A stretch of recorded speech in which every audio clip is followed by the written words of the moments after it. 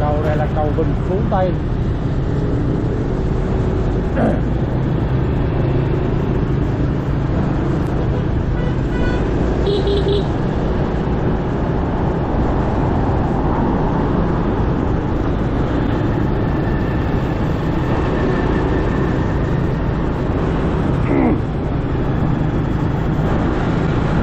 Ở đây có bán mấy cái cà phê mang đi nữa tại vì cái con đường này là công dân đi làm dữ lắm nha bà con bà con bác thử nghĩ cái lượng xe mà mỗi lần mà chạy ngang qua đây biết bao nhiêu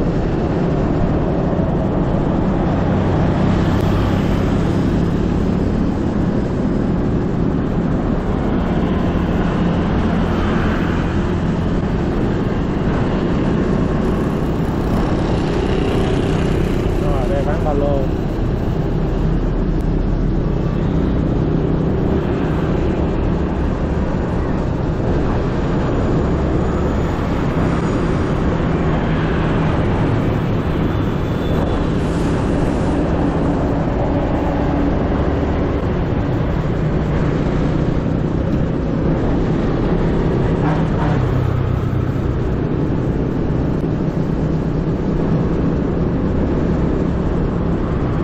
nha mấy tôn gì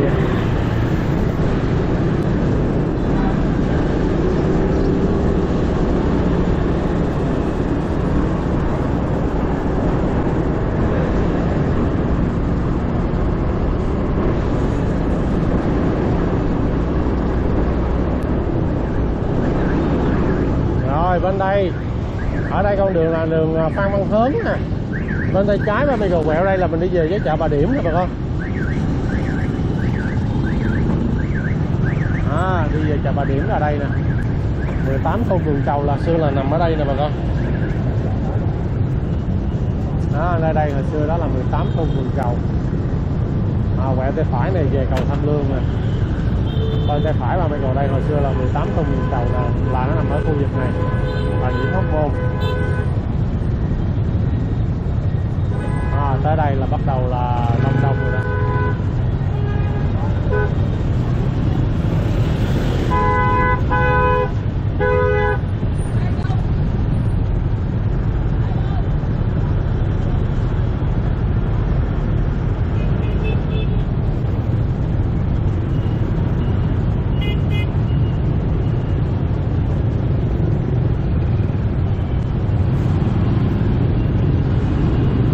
mấy cái xe chở nặng này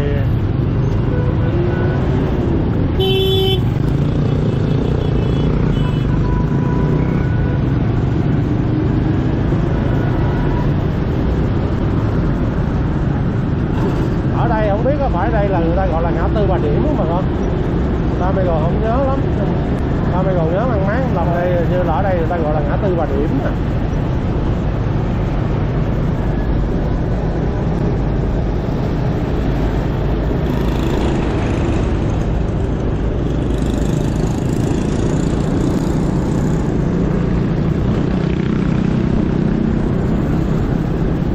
tới đây thì ba thì này ba mày còn thấy bên tay trái mà mày còn đây là một kho đá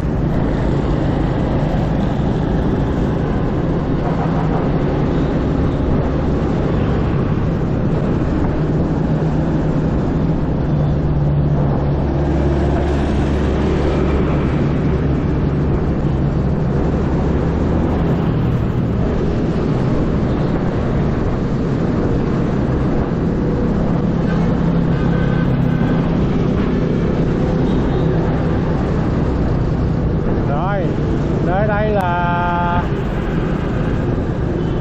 ngã tư An Sương trước phía trước mặt bà con cô bác đó là ngã tư An Sương giờ để ba Michael ờ, đánh vòng đi đánh vòng ngã tư An Sương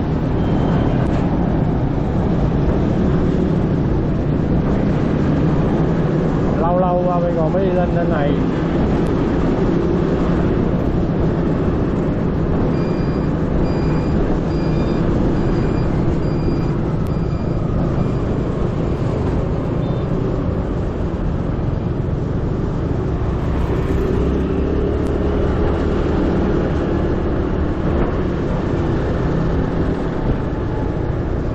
bên tay phải ba rồi đây là đường Tân Thế Nhất 01 rồi bà con. Quẹo tay này là bên tay phải này nó vô là có một cái đình Thuận Kiều. Kế bên cái đình Thuận Kiều đó đó là có một cái uh, nghĩa trang. À, nghĩa trang đó là nghĩa trang uh, ba mươi còn nhớ như là nghĩa, nghĩa trang như là lạc quan hòa lạc thì phải. À, bữa nào có dịp ba mươi còn sẽ chở uh, bà con cô bác vô trong đó ha. Để khi nào có dịp nào đó à, lũng quẩn là ba mươi còn chở vô còn bên tay phải đây là hồi xưa là hậu cứ của lừa. Liên đoàn 81 bị cách dù rồi con bên tay phải.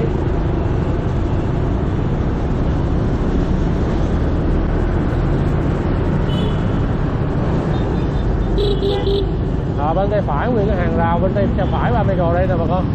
Hồi xưa ngay đây á, là à, một cái vườn. Vườn này người ta gọi là vườn tao ngộ à, vườn tao ngộ là ở đây nè bà con gặp bên hông của ờ, xa lộ. Rồi tới đây có cái cổng doanh trại quân đội nè không tới đây là hồi xưa là bãi uh, tập bãi tập xe jeep gọi là xe quân xa đó à, của một cái uh, đơn vị uh, gì quân vận á. Đó bãi tập xe jeep. Còn bên tay trái ba mươi cầu đây thì đó là bến xe An Sương. Bến xe An Sương này trước năm 1975 nó chỉ là một cái đồng ruộng thôi bên tay trái này không có nhà cửa gì hết. À, bên tay phải này à, là bãi tập xe ha. Không có bãi tập lái xe jeep á của quân vận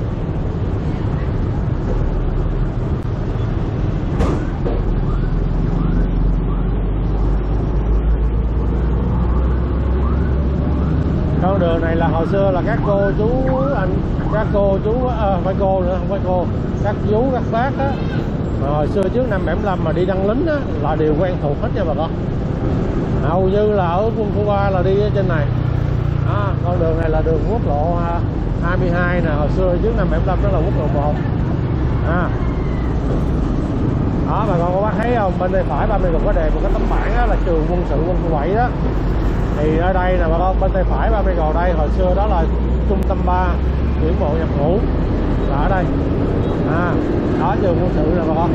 Ở tay phải vô đó đó. Thì nay đây hồi đó là trung tâm 3 tuyển bộ nhập ngũ.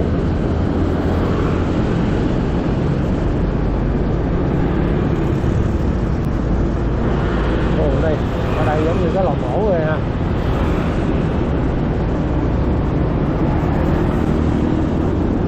Rồi ghé mé lên tới trên đây nè. À, kế bên cái trung tâm 3 tiểu lộ nhập ngũ á bà con. Thì uh, trên đây bên tay phải là mình ngồi đây có một cái cổng quân đội nữa nè thì ở đây á, hồi xưa người ta gọi đó là chạy lê lợi. À, cái cổng quân đội đây nè bà con. À, chạy lê lợi ở trong uh, quân trường quân trung á. Đây đây là chạy này chạy lê lợi. À, chạy lê lợi này ở ngoài ra nó còn có tên là như là chạy cây điệp. Tại vì hồi xưa là nó có một cái hàng điệp vàng.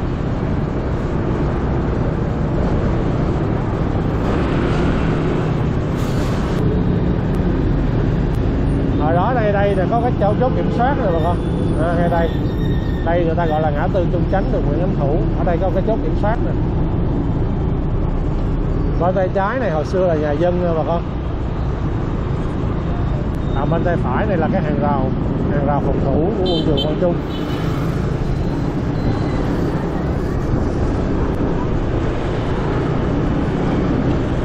Mà đó bên tay trái này là nhà dân nè con đường này đường nguyễn nó thủ nè. Ở đây có một cái trại gọi là trại bạch đằng. À, cho nên ở trong đây có khu gia binh bạch đằng nữa nè. Ngoài tay phải này gần đây thì có một cái nhà thờ bạch đằng nữa. Thank you.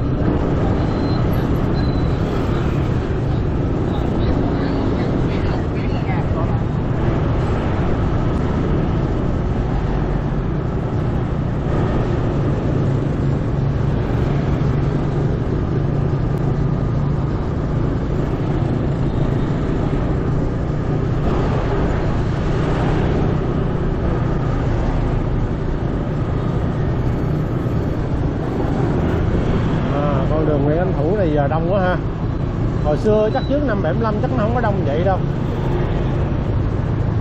Giờ nhà cửa quá trời ơi giá suối trung chánh nè. Để ba Michael đi vô đây. Hôm bữa trước ba Michael có nói với bác Quy của ba Michael á mỗi lần mà lúc mà ba Michael lên đây ba Michael quên sót một cái chỗ. Mà con bác nhớ lúc mà ba Michael đi quay trên hóc ngôn không? À, ba Michael bỏ sót một chỗ. Thật ra không phải sót nữa mà đi tới đó thì không đi vô. À, thì ở đây là chợ này gọi, gọi là chợ Xuân chánh. Ồ, bán cá ta? À, đây là nhà thờ Xuân chánh rồi bà con. Giáo sứ Xuân chánh.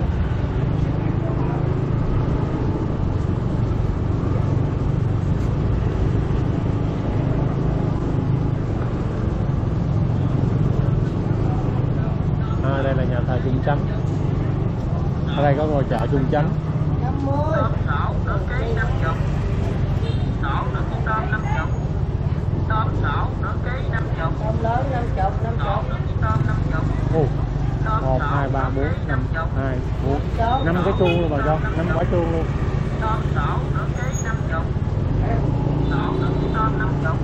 cái chợ này của hồi đó ba mươi vô rồi.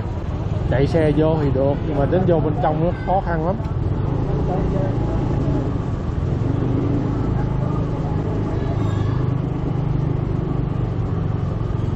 Rồi đây là trường tiểu học Nam Kỳ Khởi Nghĩa nè. À, đường này đường Hồ Học Cẩn. Trời ơi ba mươi cầu mắc cười lắm bà con. À, cái đợt đó tự nhiên ba mươi cầu đi tới đây ba mươi cầu đố bà con cô bác biết là cái chơi trường này nè trước năm 75 nó tên gì?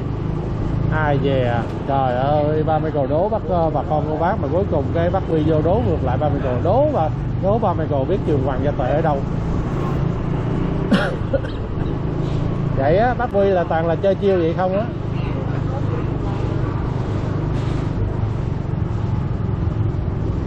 à đây là con đường hồ hồ ngọc cẩn nha bà con.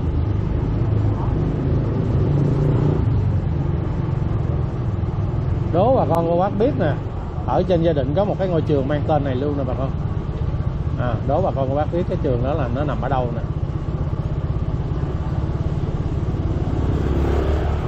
À, cái tên Hồ Ngọc Cẩn này cái ngôi trường đó là coi như là nó gắn liền với Châu Huynh luôn bà con. À, giám đốc của trường Nguyễn Bá Tòng năm xưa đó.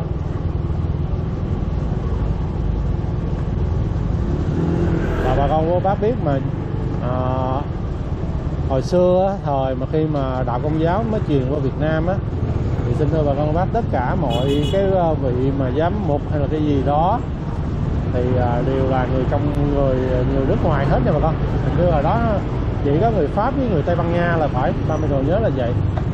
À, thì à, à, cha Nguyễn Bá Tòng này là coi như là vị giám mục vị giám mục đầu tiên người Việt Nam đó bà con ha, cha Nguyễn Bá Tòng này. À đây là đường Đồng Tâm.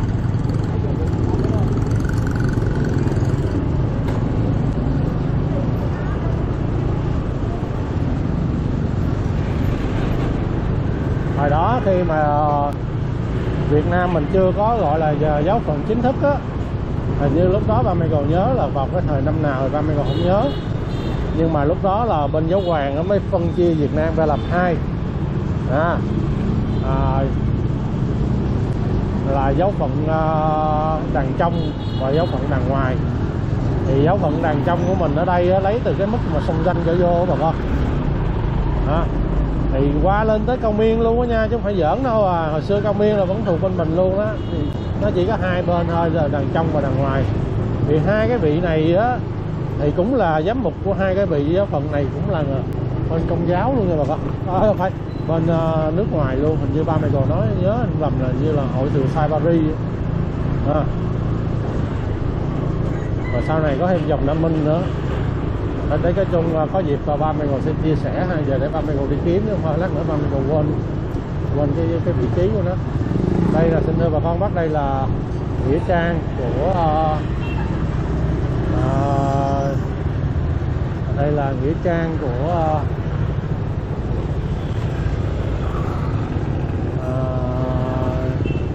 linh mục linh mục à, uh, đúc thủy.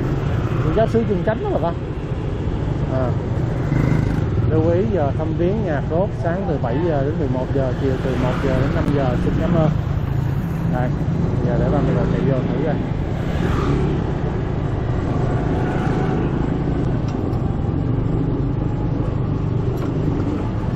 À, đây là nghĩa trang của linh mục nè Ờ.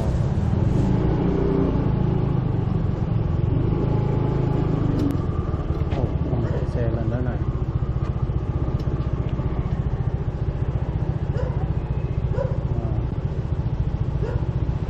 này ba mẹ ba thấy bên trong bên kia có một cái ngôi mộ nè. Mà ba mẹ không đọc được tên. Rồi ở bên đây có hai cái ngôi mộ nữa. Có ba ngôi mộ luôn. Chắc ba Michael nghĩ là bác hồi đó bác nói ba Michael đi uh, chú ý uh, ba ngôi mộ ở ngay góc tường. Chắc uh, góc bên đây. À. À. để ba Michael vô quay ra ba ba ngôi mộ đó là ba ngôi mộ gì?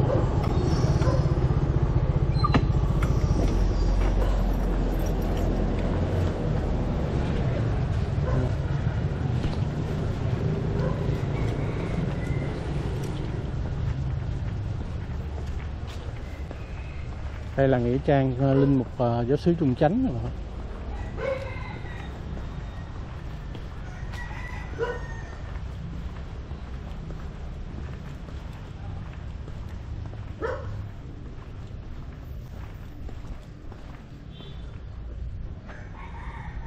Hoàng Phụng Tuyển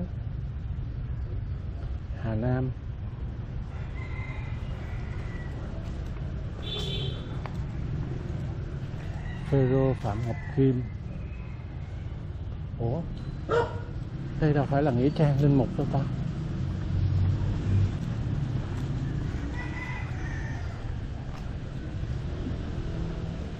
Ba mươi rồi thấy à đây đây đây. À, đây là không linh mục không? Linh cao tùng nè đỗ đình ánh nè. Nguyễn Kim Điền cha cố Vinh Sơn Nguyễn Hưng nè Đa Minh Vũ Nguyên Thiều nè Nguyễn Quang Bạch nè à, đây.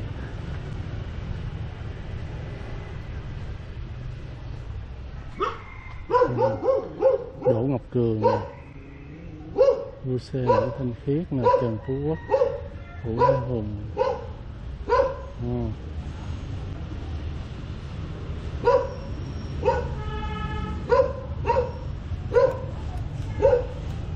à.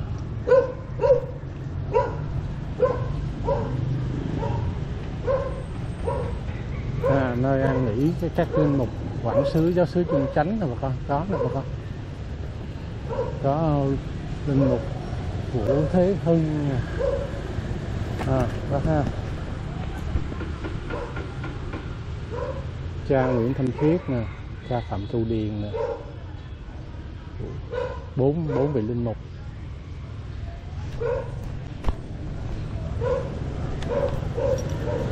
à.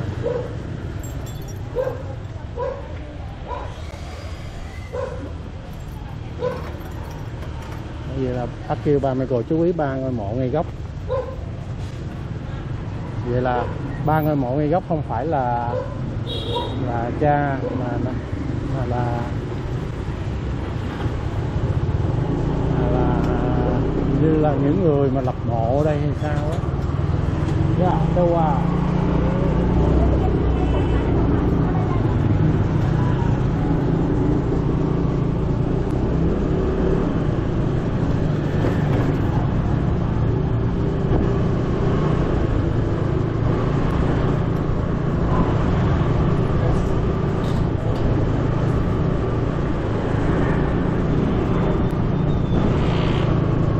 Rồi giờ ba Michael sẽ tiếp tục chở bà con bác đi đến một cái nơi nữa. Nơi này mà đi là bác chấm tọa độ cho ba Michael đi nè. Mà mắc cười lắm bà con, ngày hôm qua ba Michael tự nhiên bình thường. Bác chơi cái chiêu độc quá. Cái tự nhiên bác cho ba Michael cái tọa độ, bác kêu ba Michael đi. Cái ba Michael suy nghĩ trong bụng. Chẳng lẽ bác kêu ba Michael đi tìm kho báu trời? Mà cái tọa độ đó là ba Michael chấm lên là nó lại một cái khu đất trống nữa chứ rừng cây cây cối um tùm không à? Có ba mới còn nghĩ trong bụng. Ủa tiệm gì trong này? Để lát nữa bà con cô bác cùng với ba cầu đi ha. Bình thường là bác sẽ nói địa điểm ờ, địa danh để ba cầu đi cho nó dễ. Còn giờ là bác chơi là toàn là mã số không à.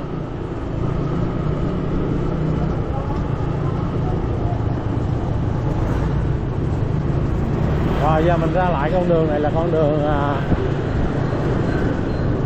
Nguyễn Anh Thủ. À, thuộc về Trung Mỹ Tây.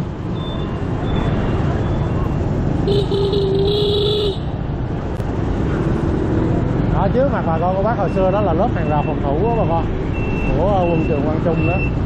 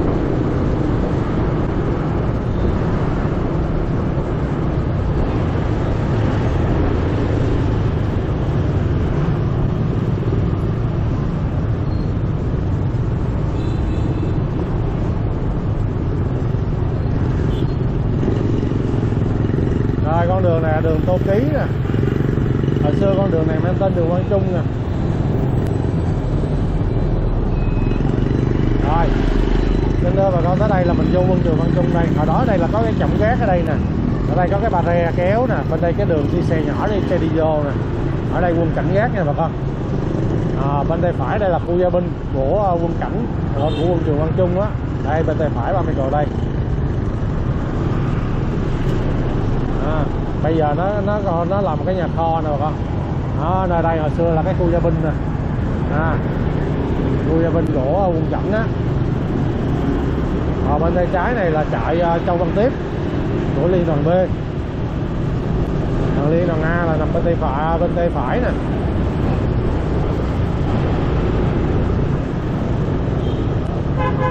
Còn cái chỗ thuận phương này, hồi xưa là cái nghĩa địa nè bà con. Nghĩa địa của ông trường Quang Trung á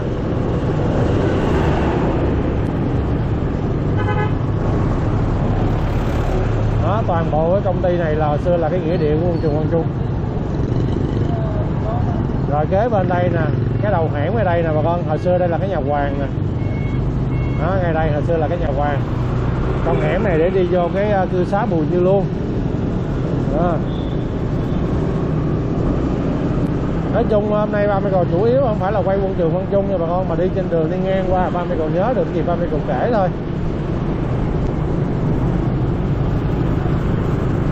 Còn bên tay phải ba mươi cầu đây là chạy Nguyễn Duy Phương đây đối diện qua chạy Nguyễn Duy Phương á, thì đó là chạy uh, à, Châu Văn Tiếp rồi bên đây là hội quán văn văn ờ, Trung nè. Rồi ờ, bên tay trái đây là nhà thờ Quang Trung nè. À, ở đây có hai cái ngôi trường. Hai ngôi trường trường văn hóa quân đội với lại trường uh, trường gì quên mổ tên rồi trời. Trường Lý Thường Kiệt lắm ta. Hình như trường Lý Thường Kiệt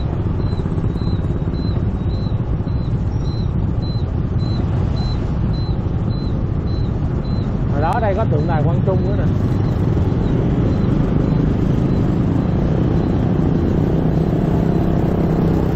Phía trước mặt bà con của bác nguyên có dãy tòa nhà bên đó đó bà con, đây để quẹo vô luôn cho. Ở đây là cái chợ. Chợ này xin thưa bà con bác, chợ này nó bán một cái món ăn rất là kinh khủng. Mà ai cũng phải nghe khóc thét mà sợ luôn á. Đây là được gọi là chợ thịt chó nha bà con. Chợ này là chợ thịt chó lớn nhất Sài Gòn. Đó, bên trái rồi mà con quá thấy không chó họ bày ba bốn con. Nó chợ này nè à. quá trời không nó nguyên nhảy luôn. Đó quẹo tay trái này hồi xưa là vô có một cái đại đội pháo binh của quân trường Quang Trung và đóng ở đây. Thôi, quay ra đi, quên. Đó, cái con đường này bà con, hồi đó là đây, một cái đại đội pháo binh ở đây rồi đi xuống nữa là đó là một cái sân tập sân bắn sân tập trận đấy. À, các ờ, binh lính chia nhau ra. Rồi cầm súng rồi đánh trận. À, chó rồi này chó nhiều lắm phải không? chó thu rơm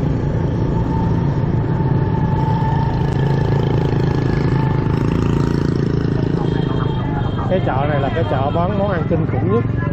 Ai nghe cũng thấy ớt lạnh rùng mình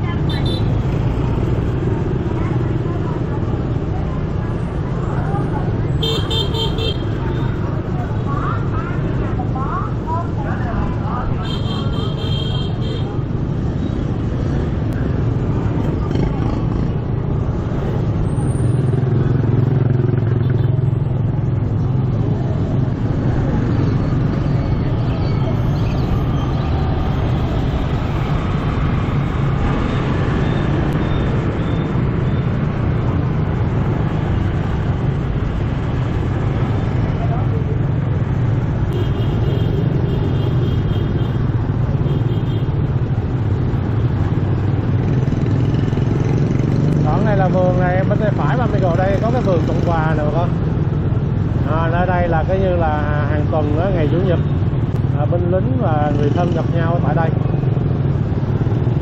hồi xưa á, đến ngày chủ nhật á xin thưa bà con cô bác á không phải là mình phải hẹn trước hay là cái gì đâu nha bà con hay là vô xin phép gì á chứ uh, ờ, người thân lên đây cái uh, không cần hẹn cái gì hết đó cứ uh, sáng chủ nhật là cứ đi lên cái chỗ vườn Cộng Hòa này nè. Rồi ngồi đó đợi. Rồi các tất cả các lính ở trong cái quân trường Quang Trung này nè đều có đi ra đây hết. À, họ ra mà nếu mà họ gặp được người thân của họ thì họ gặp họ, họ nói chuyện còn mà nếu ờ, họ ra mà không có thì họ đi chơi vòng vòng vậy nói chung là cứ ra đây là gặp nhau ở bên tay phải ba mươi cầu đây nè. Đó, có một cái ờ, sừng lớn lắm. Đó, ra đây người ta gọi đó là vườn Cộng Hòa con đường này ở đó là đường Quang Trung nè. Đó, đường Quang Trung nắng đổ xa xôi á. Hồi xưa ngay từ đầu cổng là phải đi bộ vô đây nha bà con.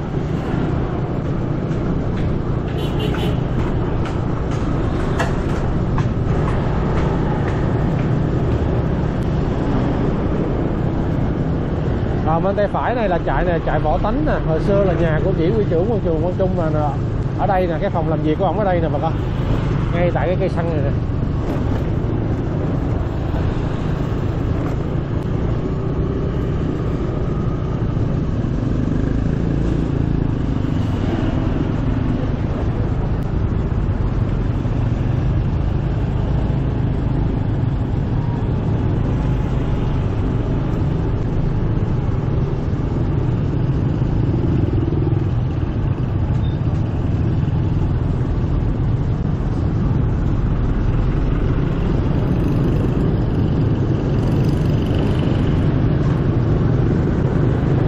rồi qua cái trại võ tánh á, bên tay phải ba mẹ gồ đây á à, hồi xưa ở đây là trại ờ, Vương Mộng Hồng à, nơi mà huấn luyện căn bản cho lính nhảy dù á bà con à, cái trại Vương Mộng Hồng dịch vụ quân trường Quang Trung nha bà con. Nằm trên đất của quân trường Quang Trung, nhưng mà nó lại quản lý là của sư đoàn dù sư đoàn nhảy dù mà, đây bên tay phải mà mình gọi đây là chạy Vương Mộng Hồng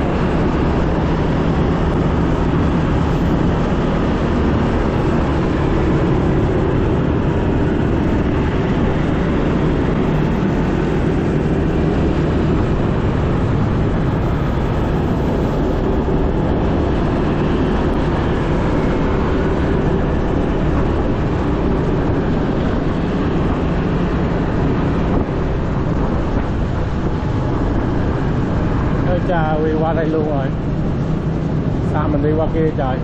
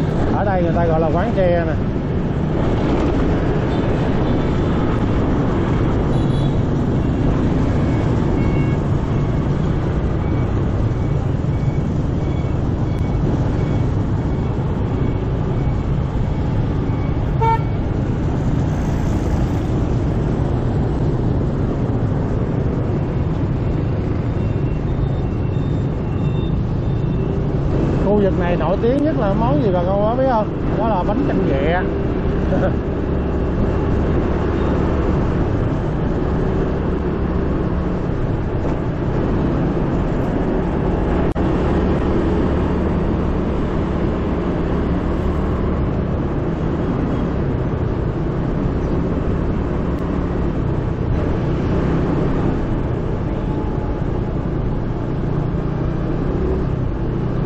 rồi mình ra lại đây, con đường này là hồi đó nó là đường à,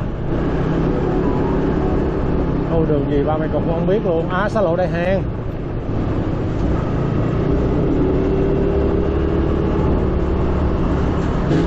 Bên tay trái là một trường Quang Trung á. Bên tay phải này có giải trường học nè bà con. Trường học này nói là trước năm 75 đã có rồi nè. Một cái trường tiểu học trường Nguyễn Du. Bây giờ nó là trường Nguyễn Du.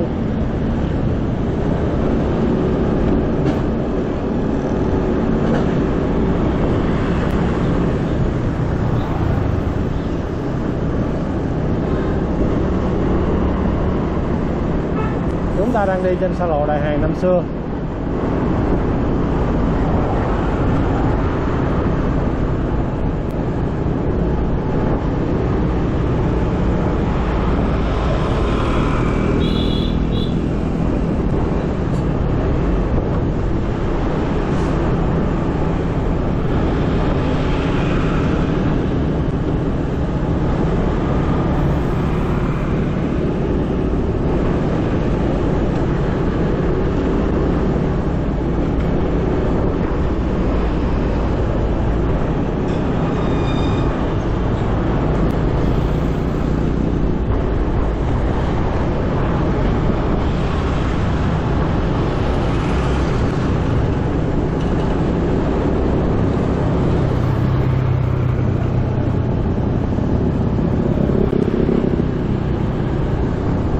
Bên tay trái ba mẹ cầu đây có một cái giáo xứ Tân Hưng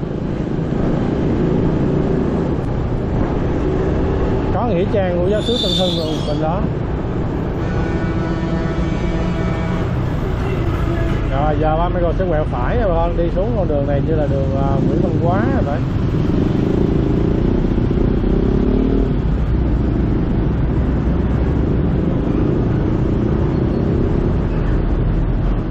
đúng rồi đường Nguyễn Văn Quá ba còn sẽ chở bà con bác đi tới một cái nơi nữa đó là giáo xứ chợ cầu. Giáo xứ chợ cầu này là được xây dựng lâu đời lắm nha bà con. À, khởi đầu nguyên thủy của nó là do do các à, ở dưới cái mơn lên đó bà con. Dòng mến thánh giá dưới cái mơn đó, lên đây à, thành lập rất là lâu đời luôn á. Từ à, hồi mà coi như năm 1869 lập tức có nghĩa là sau khi mà thực dân Pháp vừa mới ờ, vào miền Nam Việt Nam à, đánh được gia đình ờ, đánh thơm thành chí hòa đó thì 10 năm sau thì khi mà Pháp vào rồi thì đương nhiên là đạo công giáo được truyền ờ, ờ công khai nha bà con không có lén lút nữa. Chứ hồi đó mà từ thời giờ mấy vua vua chúa triều nguyễn là coi như là không có cho đạo ở đâu gọi ờ, gọi đạo công giáo này là gọi là tà giáo, tà đạo. Như cấm dữ lắm. Ai mà theo đạo này coi như là xử xử hết nha bà con. À.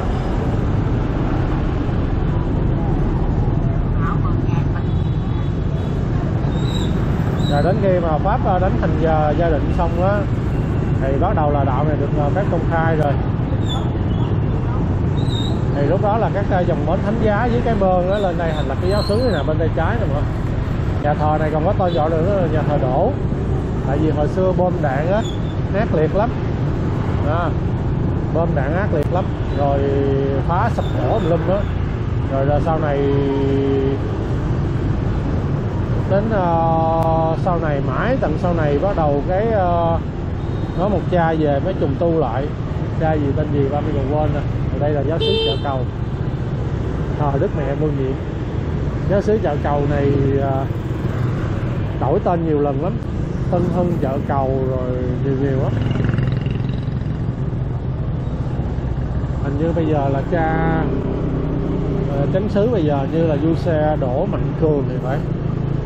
Cha cha đỗ mạnh cường này á ba mươi còn nhớ không lầm là trước đó, đó là ở bên uh, giáo sứ thái bình. Ở trên uh, hạt chợ mới mà con xóm mới. Giờ không biết cái đường nào đi vô đây. Hồi đó ờ, sau khi một thời gian bị bỏ hoang vắng á hoang thế luôn á thì bắt đầu có một cha mới dựng các giáo dân của mình với dân đồng xá đó. À, đi lên đây thành lập uh, xây lại trên cái nền đất cũ này nè bà con. Giờ để ba mẹ rồi tìm ra đường ở phía sau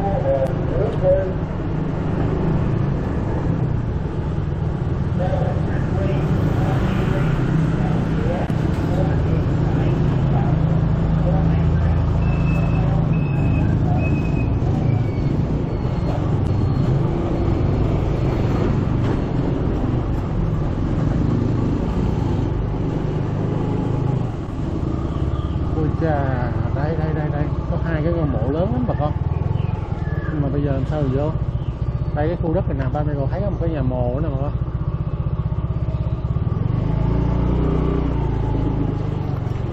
sao mà vô ta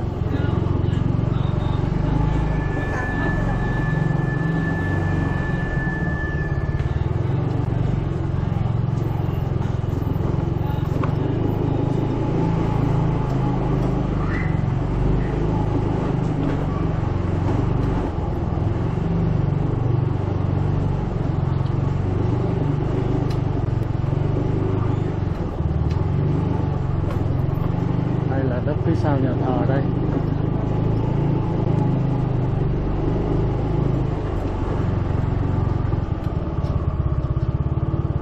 Đây nhưng mà bây giờ đóng cửa rồi.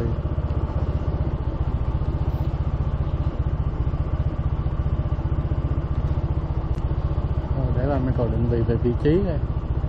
Đây có hai cái ngôi mộ này, hai cái nhà mồ này nhưng mà mình còn định vị cái vị trí cho đúng cái điểm không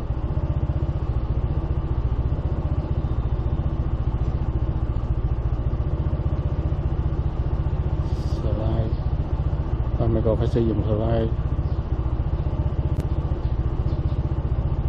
đúng rồi. Đây, ngay khu đất này bác chấm luôn rồi bác. Nhưng mà bây giờ cái cổng nằm ở đây nó bị khóa rồi, không vô được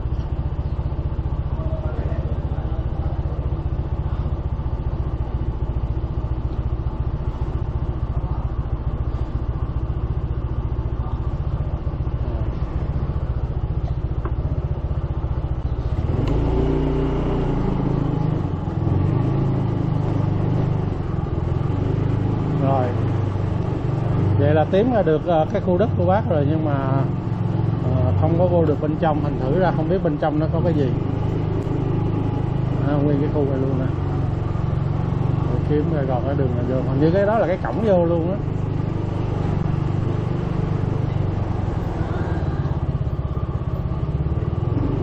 Đúng rồi. Đúng cái vị trí mà bác định vị luôn rồi đó.